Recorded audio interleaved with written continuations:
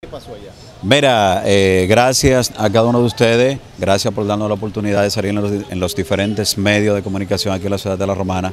Eh, pasó lo siguiente, eh, fuimos a la inauguración, nos invitaron en varias oportunidades a la emergencia, a la, a la inauguración.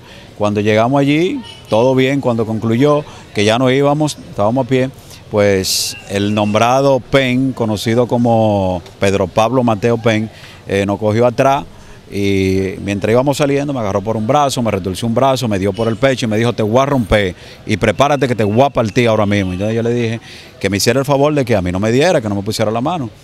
Ahí llegaron unos espalderos de él, llegaron eh, el asistente del gobernador y se metieron en el medio. Entonces el asistente del gobernador le dijo a él que ese no era el momento. O sea, como que ellos tenían algo preparado en contra mía por los diferentes comentarios, por las imágenes que hemos, que hemos grabado y, por las cosas que decimos. Eh, están los programas y la gente eh, han visto lo que hacemos en los diferentes medios. Entonces, ya habíamos eh, eh, puesto una querella aquí ante el fiscal, ahora venimos a una segunda tratando de que un médico legista, antes de que vaya a levantar el cuerpo sin vida de Raúl Cedeño, conozcan de lo que está pasando.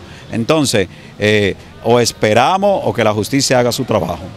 Bueno, hasta el momento no hemos hecho más nada porque ni siquiera no andamos armados, ni siquiera andamos en un vehículo que vamos a chocar a nadie, eh, no tenemos... Eh, no, uno no sabe cuándo uno se compra un enemigo de gratis, pero también eh, este ciudadano que supuestamente se dice que tiene hasta punto de droga y que eh, lo hace, todo lo que él hace, y que la gente no habla en la gobernación de lo que pasa porque le tiene miedo a él, porque es avasallante, le dice improperio a las personas allí.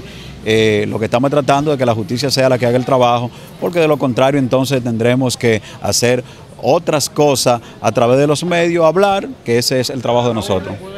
No, eh, me retorció un brazo, me dio un tablazo en el pecho, yo traté de agarrarle una mano cuando me tiró a la cara, eh, tratando un hombre de 6'3, de 200, casi 300 libras, con 100 libras eso es una competencia de, desigual. Bueno, el cumpleaños de salud pública no fue más eh, una insistencia de que las autoridades tienen que escuchar tienen que ver que nosotros que somos nacidos aquí de la Romana tenemos que ayudar a la ciudad de la Romana. Ese es nuestro trabajo porque nacimos aquí en la ciudad de la Romana y que somos de la Romana y que estamos aquí y vamos a seguir trabajando por la Romana.